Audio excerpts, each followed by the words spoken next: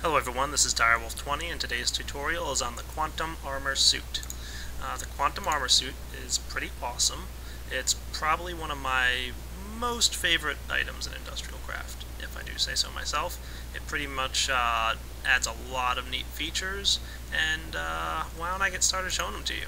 Now the first thing you need to know about the Quantum Armor Suit is most of them require an item called an Iridium Plate. Um, the iridium plate is crafted with UU matter, and you need 7 UU matter per iridium plate. There you go. This is the only way to get iridium. Okay, so let's go ahead and craft that again. I've got two iridium plates now.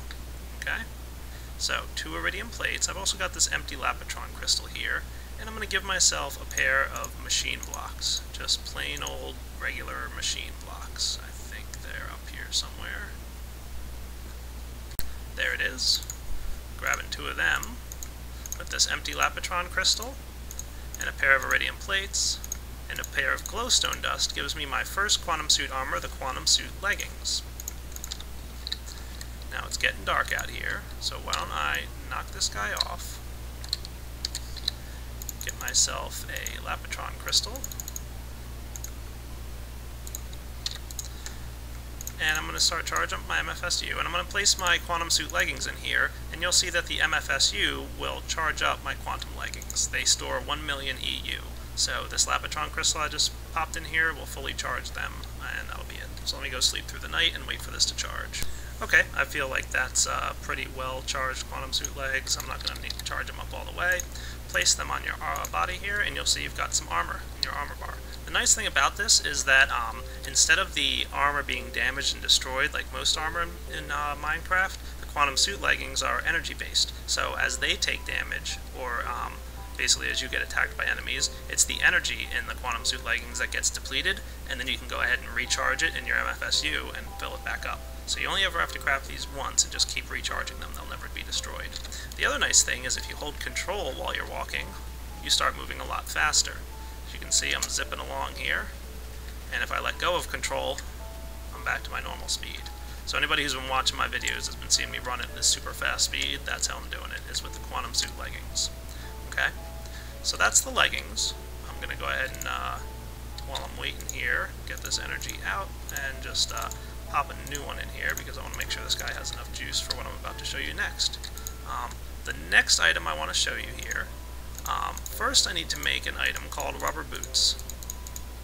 It's a piece of wool with some rubber around it, get your rubber boots. They're cool. Um, basically they nullify fall damage. You can equip them if you want, and you won't take much fall damage if any at all. Um, there is a bit of a bug at the moment in 1.5 where sometimes fall damage isn't being completely null nullified, but they work pretty well. Um, however, they are a component um, along with another 2 iridium and two rubber boots, and another empty Lapotron crystal gets us the Quantum Suit boots.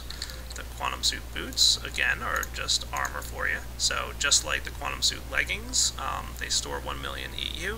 They will protect you even more from damage, just like if you had equipped iron or diamond boots. Um, and it's energy that it uses to protect you with, so it'll never be broken or destroyed. And we can equip them and first off, they nullify fall damage. Um, again, they're a little bit bugged and uh, don't always nullify it. But if you hold control and jump, you can see you jump much higher. Anybody who's been watching my videos sees me jumping all over the place like a bunny, and that's uh, pretty much how I'm doing it.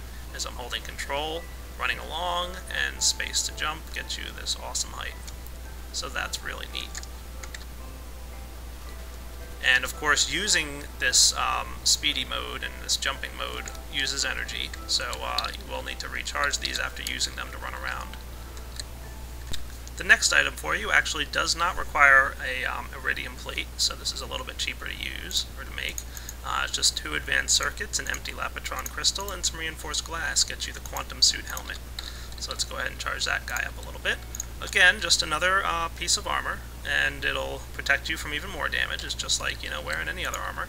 Um, but this time, it's protecting your head. We can equip this guy. And the nice thing about this is, it uh, allows you to breathe underwater. So if I jump into the water here, and I apologize, it's a little dark, you're not going to be able to see too cleanly, but if you pay attention to the bubbles at the bottom right, they're going down, and they automatically fill back up. So you're not going to run out of air while hanging out underwater, and you won't start drowning. So that's the benefit of the Quantum Suit helmet. And the last piece is, of course, the Quantum Suit body armor. It requires four iridium plates, so definitely a bit expensive in terms of materials, and it also requires three of these advanced alloys, and of course an empty Lapotron crystal. So, one, two, three, and one, two, three, four. Quantum Suit body armor. Um, again, just offers more protection and more damage reduction from enemies, which is great. Um, but the benefit of the Quantum Suit body armor is that it will completely nullify all incoming damage, regardless of anything else, until this unit is um, drained of energy. So falling, jumping in lava, pretty much nothing should be able to hurt you as long as the Quantum Bodysuit armor has some energy stored in it. Just like all the other Quantum Suit pieces, it stores 1 million units of energy to fully charge itself. So I think that's enough. Let's go ahead and equip it here and go for a lava bath. Dun dun dun.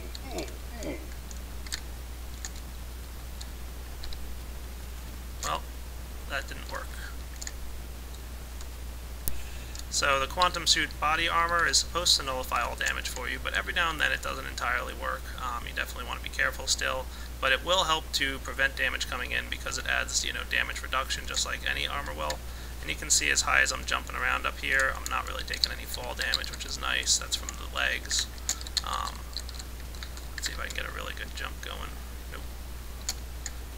So yeah, fall damage, no longer much of an issue. And, uh, you know, damage from enemies probably won't be taken much, if any at all.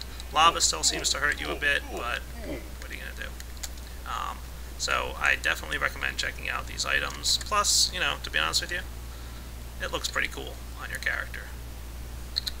Very nice. So, hope you guys enjoyed this tutorial on the Quantum Suit, and I definitely recommend making them. My preference is to always make um, the, the leggings first and the boots second, and you can make the helmet anytime you want because it really doesn't require that UU matter component. And you can see I did use almost a full stack of UU matter to get myself the full body set. Um, the Quantum Suit body armor I usually get last, um, mostly because I enjoy using the backpack, and you can't use the backpack and the body armor at the same time. And more often than not, the backpack is more useful for me.